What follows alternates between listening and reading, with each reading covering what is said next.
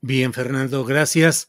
Eh, Horacio, entre otras de las cosas que se van moviendo y recolocando aquí, está ese deterioro de los partidos derrotados, que podrían ser partidos que finalmente tuvieran eh, una circunstancia en la que pudieran seguir adelante más o menos después de la derrota electoral, irse reconstituyendo bien, pero aquí parece que no hay tal. Hay panistas que ya están exigiendo que se vaya antes de tiempo Marco Cortés, quien debe irse meses más adelante, pero dicen que ya, que es insoportable que pueda él seguir ahí. Del PRD ya dijimos, pues está, eh, pierde el registro. El PRI también eh, reducido en su fuerza legislativa y eh, preparando una Asamblea Nacional que muchos temen que sea otra maniobra tramposa de Alito Moreno. Em, y hay quienes están ya anunciando la idea de un partido rosa o partido suma desde la derecha. Y Eduardo Verástegui ya está jurando que va a entrar en una campaña intensa para ir creando un nuevo partido aparte para 2025. ¿Cómo ves esos reacomodos partidistas, Horacio? Mira, un partido político lo podría yo ahorita comparar con una escuela. Yo que he tocado tanto en escuelas en todo el mundo, ¿no? Para, para chavos de primaria, de secundaria. Cuando uno llega a una escuela y ve uno toda la organización, la predisposición de los niños, la, la conducta de los grupos, etcétera, etcétera, y ve uno quién es la directora o el director de la escuela, ya sabe uno por qué funcionan bien. O sea, las escuelas son como los partidos políticos, creo yo. Si tienen una buena directora, funcionan muy bien y son bastante, bastante eh, correctos, asertivos, funcionales, etc. Eso es lo que no ha pasado con los partidos de oposición. Tuvieron unas direcciones tan mediocres, tan tremendamente perversas, tan poco inteligentes, siento decirlo, tan, tan, tan, tan, tan vacuas, tan vacías, tan faltas de, de carácter y solamente echaron mierda, inventaron y no fueron dirigentes políticos en realidad, porque lo último que los movía era la política en relación al pueblo, la política como, como como una parte importante, como una ciencia social para finalmente tener un país mejor, porque eso no les importó, pues ahora están cosechando eso que cultivaron. Qué, qué, qué bueno que Alito, ¿no? Lo dijo Fernández Noroña en su penúltimo discurso, qué bueno que Alito nos ayudó tanto de veras a que el PRI perdiera como perdió, de la manera tan avasallante como perdió. Y, cuando uno oye hablar al pobre señor este Marco o Marquito, Cortés, Marquito es verdaderamente patético. Entonces, uno, un, un, partido político que no tiene un sustento como una cabeza que de veras le marque un sino como lo tuvo Morena con López Obrador, no nos hagamos tontos, ¿no? Y lo tuvo el PRD con Cuauhtémoc Cárdenas y con Muñoz Ledo. Eran, esos eran, e, e, eran verdaderos líderes políticos, ¿no? Eh, pues Castillo Peraza, por favor. O sea, han tenido líderes muy buenos también el PAN, líderes que verdaderamente le dan a un partido una calidad verdaderamente demostrable y fehaciente al tener cabezas que les dan una ideología y que les dan un, un sino próspero a partir de la inteligencia, pero ¿qué inteligencia puede esgrimir una gente como Alito o como Marco Cortés? Incluso Dante Delgado, con toda su, su, con su decadencia realmente, pues eh, ya, no, ya demostró no ser de veras un político consumado, más que en años, ¿no?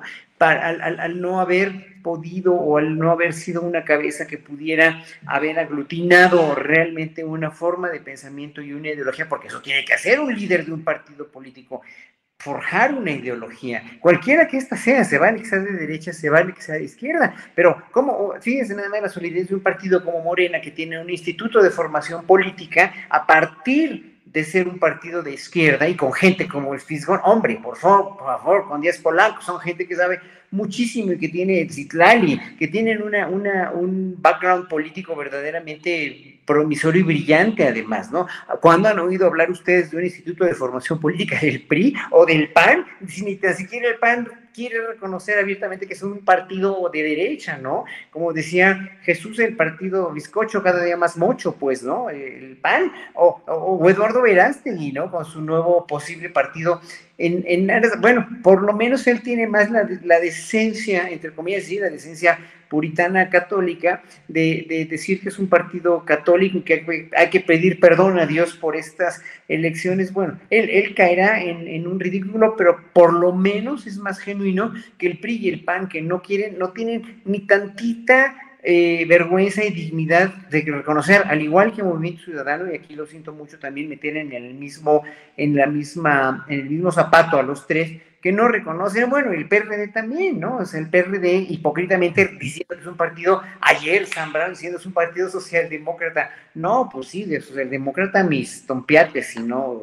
en fin, en fin, en fin, es, es ridículo que no tengan, no tengan ideología y que no tengan realmente un instituto de formación política porque no tienen nada de política. Maestro, ¿por qué estás a risa y No, tenía mucho que no escuchaba el concepto de tompiate, este, este es muy bonito, en, el, en nuestro rico vocabulario e, es, un concepto bonito. Sí, sí es bonito. Fernando Rivera Calderón, ¿qué vamos a hacer ahora que ya no haya tantas incidencias y tantas cosas em, en la política con estos espectáculos de reconversiones, de espectáculos expiatorios, de reacomodos, de peleas, de discursos, de campañas espectaculares, ¿se va a poner medio aburrido o crees que va a seguir intenso el libreto político, Fernando? No, yo creo que vamos a, tener que ir sacando los juegos de mesa. Este, eh, los chairos, pues jugaremos Scrabble o este, Uno, y, y los de la oposición jugarán Basta. ¿No? Pero de que van a jugar, van a jugar.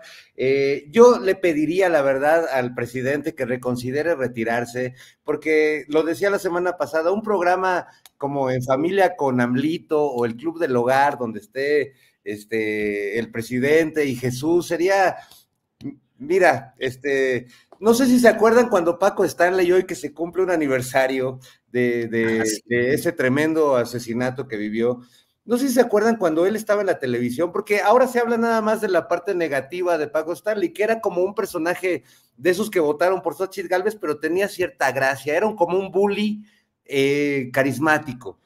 Y yo me acuerdo que en esos tiempos, cuando Paco Stanley era el rey de la televisión, en todas las fondas de la Ciudad de México, sintonizaban como ahora astillero. De hecho, ahora nosotros venimos llenando ese espacio, ¿no? Pero a esta hora justo estaba Paco Stanley y todos en las fondas estábamos viéndolo y nos, la verdad es que nos reíamos porque pues en la vida cotidiana de, del trabajador mexicano, pues cualquier babosada, la verdad es que lo alegra a uno y Paco Stanley nos dio muchos momentos de alegría. Yo voto eh, eh, salvadas las, las, distancias entre Paco Stanley y, el presidente de la República, que haga un programa como el Club del Hogar, como la Carabina de Ambrosio, como este En Familia con Chabelo, pero que lo encabece López Obrador y creo que sería muy bueno. Y por otro lado, yo eh, voy a hablar hoy mismo con Genaro Villamil para proponerle que inmediatamente ya tome la decisión que despida a María Amparo Casar,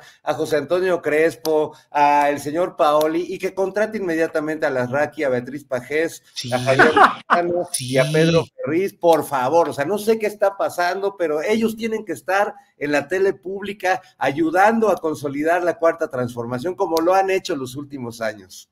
Oye, qué buena propuesta, de veras me sumo, imagínate, subiría el rating, habría audiencia, felicidad además también, haciendo, el gallinazo ideológico y el, gallinazo ahí, sí, sí, sí, sí.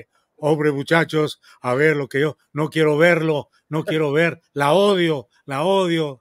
Ah, ah, por ahí andaría, ¿eh? Qué bonito. Sí, por favor, ayúdenme, ayúdenme a que esta propuesta prospere. Yo creo que es un buen momento para, para lanzar ese, ese gancho ahí, este, puede ser muy bueno.